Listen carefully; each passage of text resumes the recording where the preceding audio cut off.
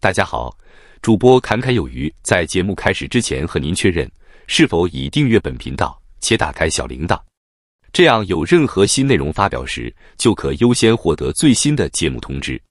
全球 AI 晶片一哥辉达 （NVIDIA） 财报会议全球瞩目，尤其是上季财报与后市展望。辉达上季财报首度将最新 Blackwell 架构相关晶片纳入一整季营运，洞见观瞻。市场并紧盯辉达本季财测与执行长黄仁勋等高层主管发言，以了解 Blackwell 架构晶片供应紧俏是否缓解，以及销售前景。对于辉达止于一月底的年度第四季财报，美国银行预期上季资料中心营收年比成长百分之八十五，增幅为两年来最慢。并预测本季成长将受限于 Blackwell 架构晶片供应限制，以及中国可能更严格的销售限制。Stifel 分析师罗伊认为，辉达上季财报可能不会有触动股价大涨的强劲利多，因为市场预期已转向 Blackwell 将在下半年扩产。辉达已预期上季的 Blackwell 营收将超过数十亿美元。Susquehanna 金融集团分析师罗兰德指出。Blackwell 系列的平均售价将是关键，将决定辉达业绩超越预期的程度以及营收潜力。Whitebush 证券分析师布莱森表示，Blackwell 架构先前出货延迟，引发市场对辉达短期业绩的质疑。但大型云端和超大规模设备厂商所进行的大规模资本支出，显示出货放缓的影响都只是暂时的。他预期。辉达上季营收将为三百七十六亿美元，低于市场共识的三百八十亿美元。布莱森的本季营收预测为四百二十三亿美元，高于市场共识的四百二十亿美元。Openheimer 分析师夏佛预估，辉达上季营收将为三百七十五亿美元，Blackwell 销售约为五十亿美元，预期本季 Blackwell 将强力扩展。他并提到，世界各国都在建立主权，AI 将成为重大的成长动能。在此背景之下，台积电 CoWoS 先进封装接单热转，并积极扩产，推升相关设备需求火热。新云、宏塑、东捷、友微科、君豪及君华等 CoWoS 设备链跟着往。具体来看，新云搭上 CoWoS 热潮，截至去年第四季，已连六季业绩创新高。二零二四年营收九十六点八八亿元新台币，年增约四成，改写新纪录。法人看好，随大客户持续扩充先进封装产能，新云今年相关设备拉活动能不坠，年营收将首度挑战突破百亿元。宏塑是台积电先进封装重要设备供应商，去年营收写新油达四十点七三亿元，年增百分之十四点九。由于客户端持续扩产。宏素今年营运有望更上一层楼。东捷在半导体先进封装领域推出一系列解决方案，包括开发重布线 RDL 镭射线路修补设备，并搭载自动光学量测，以快速自动化且精准量测修复 RDL 金属极光组线路。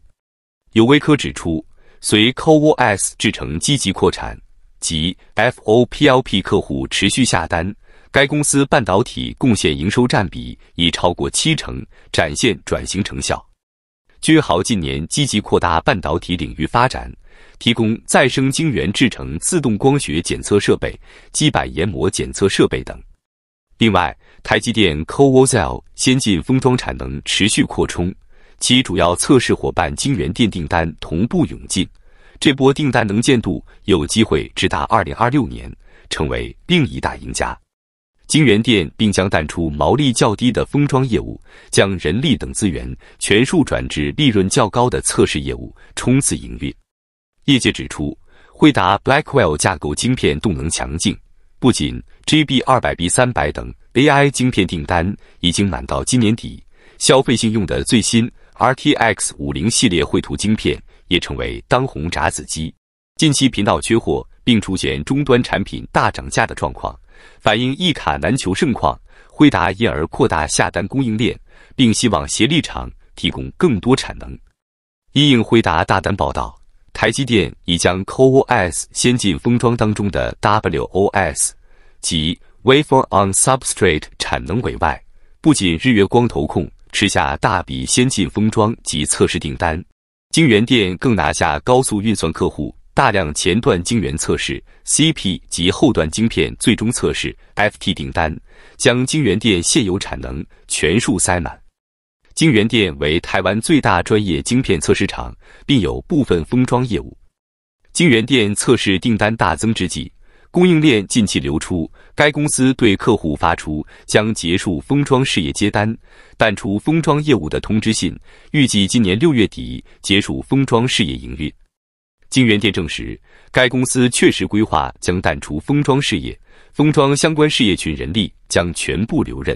并全数转调以测试为主的部门。业界研判，晶圆店淡出封装业务。是为了全力承接辉达 Blackwell 架构晶片庞大测试订单的策略。由于测试订单毛利比封装佳，晶圆店营运同步喊冲。法人指出，晶圆店目前封装产能占营收比重约为百分之十，主要偏向毛利率较低的记忆卡晶片封装。若能将相关人力与资源转朝毛利较高的测试业务发展，对提升获利有正面帮助。并将为公司额外带来至少双位数以上的营收贡献。台积电先进封装大爆单之际，业界传出惠达最新 Blackwell 架构 GPU 晶片需求强劲，已包下台积电今年逾七成 CoWoS 先进封装产能，出货量以每季季增百分之二十以上，逐季冲高，挹注台积电营运热转。台积电不回应相关传闻。业界分析。辉达二月下旬发表上季财报与展望，随辉达大举包下台积电先进封装产能，意味今年旗下 AI 晶片出货持续放量，四大云端服务供应商 CSP 拉货动能续强，为辉达财报会议提前报喜。台积电看好先进封装接单，董事长魏哲嘉已于元月的法说会公开表示，正持续扩增先进封装产能，以满足客户需求。台积电统计，二零二四年先进封装营收占比约百分之八，今年将超过百分之十，并以毛利率超过公司平均水准为目标。供应链透露，辉达在 Blackwell 架构量产后，将逐步停产前一代 Hopper 架构的 H 一百 H 二百晶片，世代交替时间点最在今年中。法人说明，辉达 Blackwell 架构晶片虽仍采用台积电四纳米生产。并将其分别开发高速运算 HPC 专用的 B 二百 B 三百以及消费性用 RTX 五零系列，并于 B 二百 B 三百当中开始转用结合重布线层 RDL 和部分矽中介层 LSI 的 COWOSL 先进封装。COWOSL 先进封装不仅让晶片尺寸面积扩大，增加电晶体数量，也可堆叠更多的高频宽记忆体 HBM。使高速运算效能升级，就效能、良率及成本等层面来看，均优于先前 COWOSS 及 COWOSR 先进封装技术，成为 B 二百 B 三百主要卖点。为此，辉达大举抢下台积电今年 CoWoS-L 先进封装庞大产能。台积电今年扩增的 CoWoS 新产能逐步开出，预计为辉达量产的 Blackwell 架构晶片。今年将以每季增加百分之二十以上快速增长，合计辉达统包台积电逾七成 CoWoS-L 产能，推估全年出货量将冲破二百万颗。法人看好，随着美国力推星际之门 Stargate 计划，带动新一波 AI 伺服器建制需求，辉达有机会再追单台积电。那么本期内容到这里就结束了，感谢你的观看，期盼能与你产生共鸣。侃侃而谈，阔论有余。最后，请你点赞、订阅，